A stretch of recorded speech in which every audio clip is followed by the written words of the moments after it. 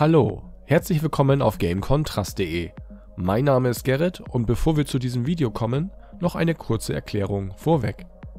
Ursprünglich war dieses Video als eine Reihe von Reviews bezüglich diverser Fanatic Hardware bereits für den April und Mai 2022 gedacht. Jedoch war ich mit der Planung der Videos nicht wirklich zufrieden, da ich zu dem Zeitpunkt mehrere Wochen später dran war als viele Simracing-Kanäle auf YouTube vor mir. Das war primär nicht wirklich das große Problem, jedoch waren diese Videos logischerweise sehr technisch und alles was ich dort an Zahlen, Daten und Fakten benennen und bezüglich auch Direct Drive erklären konnte, war schon längst bekannt und fühlte sich eher wie ein stumpfes Nachplappern an. Ich wollte etwas Eigenständiges, von dem ihr hoffentlich auch etwas mehr habt. Und so möchte ich mit diesem Video vielmehr eine Hilfestellung für euch alle sein, die entweder noch keine SIM-Hardware zu Hause stehen haben oder ihr erstes Setup bereits besitzen und jetzt auf Direct Drive upgraden möchten. 2022 war diesbezüglich ein fantastisches Jahr, weshalb ich glaube, viele von euch könnten sich speziell deswegen gerade sehr prominent mit dem Thema Sim-Racing auseinandersetzen. Ich hätte damals durchaus jemanden gebrauchen können, der mich mit an die Hand genommen hätte und mir dabei wertvolle Einblicke und Tipps gegeben hätte. Heute möchte ich dieser jemand für euch sein. Wenn euch dies anspricht, würde ich mich selbstverständlich darüber freuen, wenn ihr euch dieses Video anschaut. Ich wünsche euch jetzt viel Spaß. Zum Simracing kam ich erst sehr, sehr spät. Bis zum August 2018 war es für mich quasi selbstverständlich, Rennspiele wie Forza Motorsport, die F1-Reihe von Codemasters oder auch eben ein Gran Turismo genauso mit dem Controller zu steuern wie etwa auch ein Need for Speed oder eben auch ein Mario Kart. Da gab es jetzt nicht wirklich einen Unterschied für mich. Dass es selbstverständlich auch Lenkräder zu kaufen gibt, war mir schon durchaus bewusst. Bereits Anfang der 2000er Jahre hatte ich mir für meinen PC damals ein recht einfaches Plug-and-Play-Lenkrad für Grand Prix 4 gekauft. Das hat naja so eher semi gut funktioniert. Als Gimmick war es ganz lustig, aber mehr dann eben auch nicht. Dass sich die Lenkräder und vor allem die Force-Feedback-Technologie so dermaßen über die Jahre weiterentwickelt hat, das ist quasi an mir komplett vorbeigegangen, da ich mich auch schlicht und ergreifend einfach damit nicht mehr auseinandergesetzt habe. Doch meine Sicht der Dinge sollte am 24. August 2018 eine entscheidende Wendung nehmen. Was geschah an diesem Tag? Es war der Samstag der Gamescom in Köln und ich hatte die Möglichkeit, zunächst abseits von vollen Hallen im Pressebereich einige Simrigs und entsprechende Hardware aus nächster Nähe zu begutachten. Playseats, Thrustmaster oder auch Fanatic Hardware zum Begutachten, zum selber ausprobieren. Anschließend ging es dann noch zu Codemasters, um F1 2018 in F1 Playseats zusammen mit Fanatic CSL Elite Hardware so richtig zu erleben. Und in der klassisch liegenden Formel 1 Sitzposition mit Formel 1 Lenkrad in der Hand, mit der Formel 1 Cockpit Perspektive einige Runden in Hockenheim zu drehen, hat mir hier eine komplett neue Sicht offenbart wie man Rennspiele und vor allem Simulationen wirklich erleben kann und wenn möglich eigentlich auch erleben sollte. In diesem Moment wurde mir regelrecht bewusst, das ist es. Das ist es, was ich will. Simracing. Doch von dieser Offenbarung an bis zu meinem ersten Setup sollten auf den Tag genau noch 16 weitere Monate vergehen. Nach diesem Erlebnis habe ich mich dann intensiv mit dem Thema Simracing befasst und mir sämtliche Produkte angesehen. Doch schnell wurde mir bewusst, dass Simracing ein recht umfangreiches und sehr kostenintensives Hobby ist. Zunächst schaute ich mir hier F1 Playseats an. Die kompromisslose Sitzposition hat mir sehr imponiert und ich habe mich auch sichtlich wohl darin gefühlt. Doch Preise von und teilweise auch über 1000 Euro nur für einen Sitz naja, das war schon eine echt krasse Ansage. Von dem damals günstigsten Fanatic Bundle noch ausgehend einmal über 700 Euro on top drauf zu rechnen, und da war ja noch nicht einmal ein extra Bildschirm mit berücksichtigt, geschweige denn die entsprechenden Simulationen, hat mir das hier noch einmal die Augen geöffnet, dass man für ein Budget von 2000 Euro durchaus schon etwas Vernünftiges bekommen kann, aber dann dennoch verhältnismäßig, ja, ja, relativ am Anfang steht. Und wer so viel Geld investieren kann oder auch will, der sollte sich auf jeden Fall schon darüber im Klaren sein, ob Simracing auch wirklich etwas für ihn ist oder eher nicht. Und ich möchte ehrlich sein, mir war das zu Beginn etwas zu viel Geld. Ich habe mich also nach Alternativen umgeschaut. Und nachdem ich mehrere gefunden habe, nahm mir mein Bruder am 24. Dezember 2019 eine ganz wichtige Entscheidung ab. So schenkte er mir das Logitech G29, welches damals gerade für den Konsolenbereich sehr gute Bewertungen bekam. Überglücklich und völlig aus dem Häuschen konnte ich es kaum erwarten, es dann auch endlich auszuprobieren. Doch eine entscheidende Sache hat hier dann doch noch gefehlt. Richtig, das entsprechende Simrig. Ich stand also quasi mit dem Rücken zur Wand. Mein Bruder wusste von meiner Begeisterung bezüglich des Simracings und mit dem Geschenk musste ich nun auch weitere Taten folgen lassen. Ich war jedoch nicht bereit, über 1000 Euro für einen Sitz zu investieren, aber ich wollte unbedingt ein Rig, in dem ich realistisch als Formel 1-Fan, der ich hier nun mal bin, auch meine entsprechenden F1-Games von Codemasters stilecht eben auch immersiv erleben kann. Und hier wurde ich im Januar 2020 dann allerdings auch recht schnell fündig. Der FGT-Seat von Next Level Racing war hier meine erste Wahl. Optisch und auch von der Beschreibung her, gepaart mit einem, wie ich finde, doch recht fairen Preis von um die 500 Euro, was in etwa die Hälfte von einem F1 Playseat entspricht, konnte nun auch meine Reise mit dem Simracing endlich beginnen. Damals noch recht einfach, ohne eigenen Bildschirm und ohne Gaming-PC, einfach vor den Wohnzimmer-TV gestellt, an die Playstation angeschlossen, aber hey, ich war glücklich. Und nun kommen wir zum Logitech G29. Zwar war das Gefühl, welches ich auf der Gamescom 2018 in F1 2018 erleben durfte, schon gut 16 Monate her und damit nicht mehr ganz direkt so greifbar, jedoch habe ich mich mit dem FGT Seat, mit dem Logitech G29 in Verbindung, gleich von Anfang an richtig wohlgefühlt. Bei der ersten Inbetriebnahme bekam ich ein zumindest vergleichbares Gefühl. Ein wirklich zufriedenes Gefühl, nun endlich wieder dieses immersive Gefühl erleben zu können. Und dabei ist das G29 rein von der Technik nach heutigem Standard deutlich veraltet und mit seinen 2 Newtonmeter bzw. knapp 2,2 Newtonmeter in der Spitze an Drehmoment nur bedingt leistungsstark.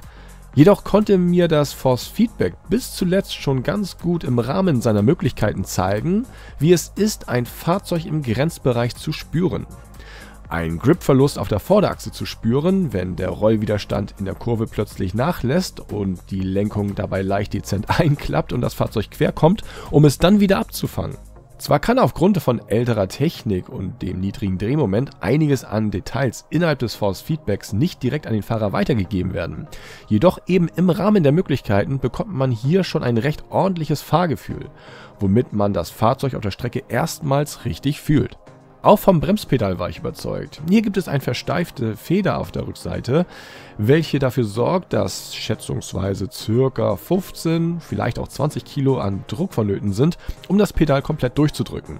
Das sind zwar vor allem verglichen mit Low-Cell-Pedalen extrem lächerliche Werte und auch die Funktionalität ist eine deutlich einfachere, indem die Bremskraft über den Pedalweg und nicht wie bei einer Low-Cell über den Bremsdruck gemessen wird womit ihr auch nicht, naja, mit Muscle Memory arbeiten könnt. Jedoch reicht diese simple Mechanik schon vollkommen aus, um euch ein erstes Feingefühl für die Bremse entwickeln zu lassen. Hier hat mich das G29 damals durchaus begeistern können und rückblickend betrachtet war es der genau richtige Einstieg in das Simracing. Das G29 und auch die Neuauflage G923 brillieren mit einem qualitativ recht ordentlichen Rundumpaket. Das Lenkrad selbst ist aus Metall, kombiniert mit Kunststoffelementen für die Knöpfe und ein wirklich hochwertig verarbeitender Lenkradkranz aus Kunstleder. Mechanische Schaltwippen aus Metall runden hier das Bild ab. Lediglich die Kunststoff-Wheelbase mit der veralteten Riementechnik fallen hier dann doch etwas ab.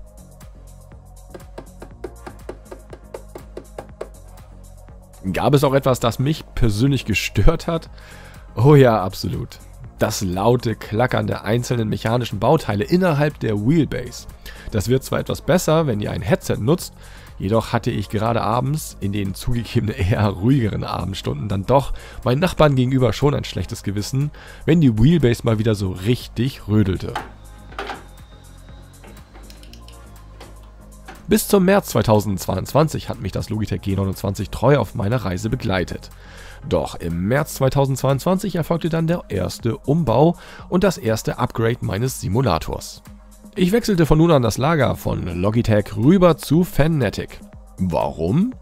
Wer jetzt glaubt, ich würde primär Direct Drive als Hauptgrund benennen, der irrt. Es war zu der Zeit im Frühjahr sicherlich auch ein Grund, jedoch habe ich meinen ersten Kontakt mit dem Sim-Racing auf der Gamescom 2018 eben mit Fanatic Hardware gehabt und vor allem die F1-Lenkräder mit teilweise auch F1-Lizenz haben mir persönlich sehr imponiert. Auch bekommt man überall in den Hüllen von diversen Simulationen Werbung von Fanatic, die einem praktisch schon ins Gesicht springt.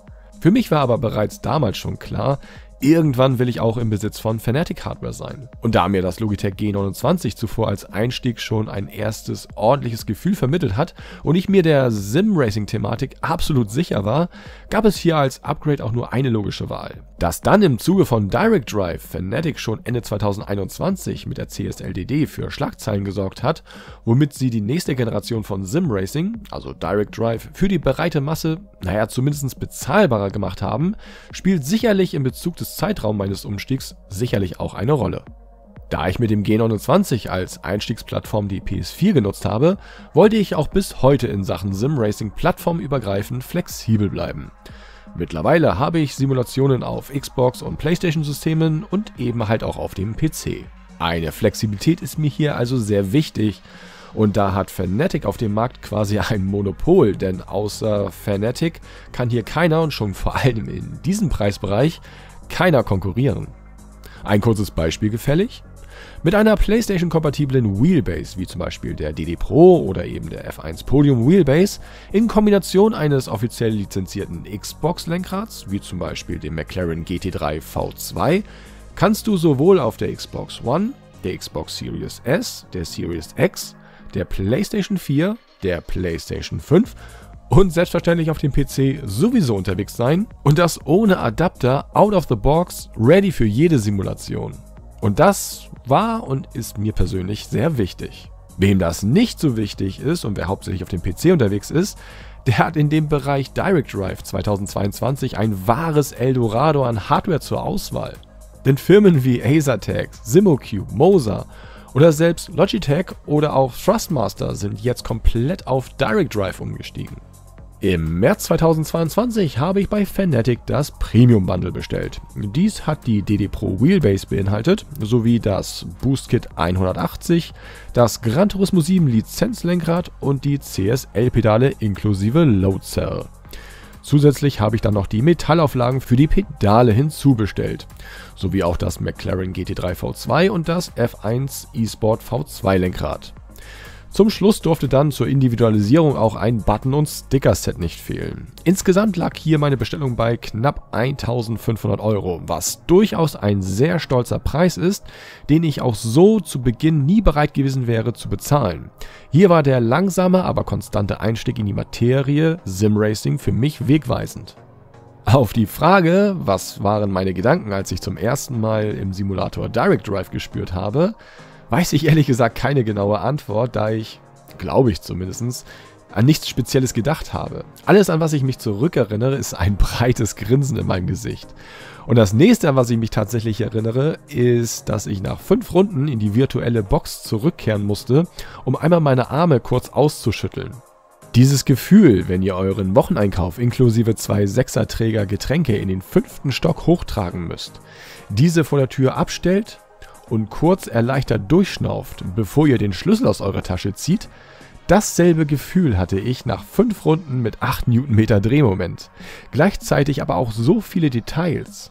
Jede Rille in den Curbs zu spüren, jede Bodenwelle oder neben der Ideallinie auch die ganzen Unebenheiten. Verglichen mit dem Riemenantrieb aus dem G29 ein spürbares Upgrade und ein echter Mehrwert. Auch die Low-Cell-Bremse mit einem verbauten 90 Kilo Sensor bei dem am Ende ca. 70 bis 75 Kilo Bremsdruck vonnöten sind, um die Bremse bei 100% Auslastung voll auszunutzen, sind hier nochmal ein komplett anderes Level. Rein vom Fahrgefühl her ist das einfach eine ganz andere Liga. Wie ihr vielleicht hier in diesem Video auch schon sehen könnt, habe ich meine Pedale modifiziert mit einigen Mods von der Firma 3D Rap. Ich werde hierbei jetzt nicht zu sehr ins technische Detail gehen, aber es ist einfach jetzt so viel mehr möglich. Auch qualitativ versteht sich Fanatic als absoluter Premium-Hersteller für SIM-Hardware. Und je nachdem, aus welcher Produktreihe ihr eure Produkte kauft bzw. bestellt, bekommt ihr auch mehr oder weniger genau das geboten.